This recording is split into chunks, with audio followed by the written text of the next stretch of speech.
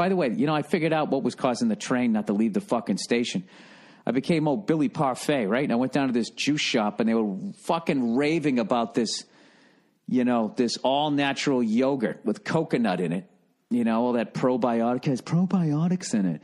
This is, you know, this isn't negative biotics. This is positive, pro. This is proactive biotics. You have two kinds of bacteria within your intestinal tract. Shut the fuck up. I put this stuff in them. I couldn't, I couldn't shit for days. I just kept eating it because they, they're down at the juice shack there, right? They kept telling me how healthy it was. And little did, little did I know, I was building like a fucking wall. You know, what's that city there in uh, Greece with all, it's the whole city's just a bunch of white walls. You know, that's what I was building in my stomach. Were you, Bill? I don't know. It's the first thing I thought of. Ah, go fuck yourself. You know, I'd like to see you not shit for three days and try to dance around it and keep it funny. Ah, God. How did I get in this mood? Um, anyways, hold on one second. Hold on. Nancy Reagan died, everybody. She died. And a lot of people were really upset about that, you know. She was a great woman. I'll tell you, you know, made her great. Uh, the the shape she kept herself in, considering her husband had jelly beans all over the fucking place. The fact that she could just say no to those goddamn things, right? She's walking around. There's something about being that skinny though. After a while, though, it's just like you live for fucking ever, but you just you're like a bird person, you know. Like if she was my uh, grandmother, I would have built like a giant bird cage that I hung from the ceiling. I'd just I'd make her go in there and perch on it. You know, I'm not opening the door unless you tell me I'm still in the will, Nancy. Or I guess I would say Grandma Reagan, Reagan. Um, all right, this this this whole podcast has gone off the fucking rails. I'm too goddamn distracted here. I'm talking about putting dead first ladies in bird cages. That's not right, is it? He's such a weird fella, that Reagan. Some people you talk to, he single handedly defeated the Russians. The reality is, didn't he come off the fucking bench and he did, he hit the last three? You know, he, the dagger. He put the game away, I would say.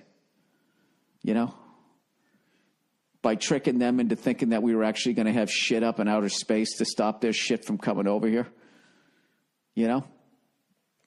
That's the weird thing about trying to bomb somebody from the other side of the fucking world.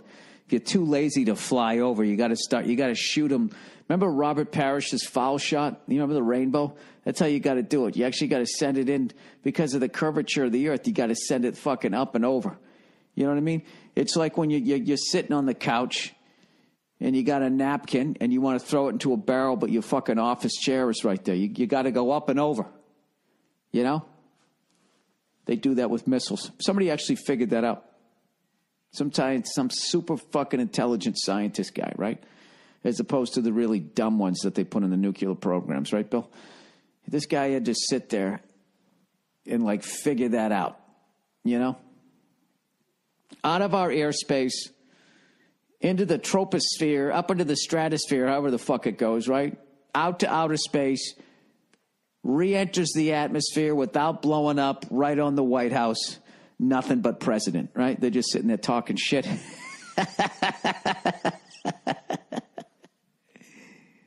what a fucking job. You know? And there's some other psycho, you know, they got cameras in space or some shit, or somebody flying around with that DirecTV satellite on the back of his plane, just following around Brezhnev and Gorbachev trying to figure out where they're at.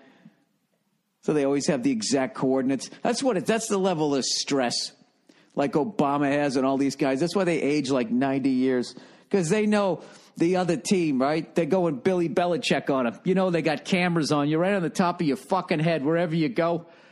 You know, I'd be all paranoid. I'd be doing fucking head fakes as I was walking down the hall to the Oval Office, right? I wouldn't even go in the Oval Office. Like, I'm not going in there. I would have. I'd have a double. I'd always be down in the basement. You know, then years later, after I died, you know, all my staff would start fucking coming out talking shit about me.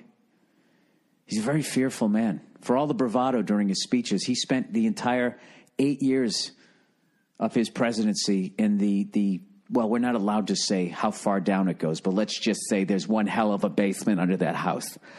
Um, do you even think he fucking lives there? There's no fucking way he lives there. He just lives there. You ever seen the White House? It's just right there. You know? He doesn't live there. I bet there's a fucking. You take an elevator. That's just like, uh, remember Steve Jobs used to make those fucking speeches at those nerd fests, right? They go down there, you know, he'd come out in his fucking jeans and no belt, and he just, uh, ah, look at this! Look at it! Look what it does! And all the nerds are like, oh my God! Oh my God!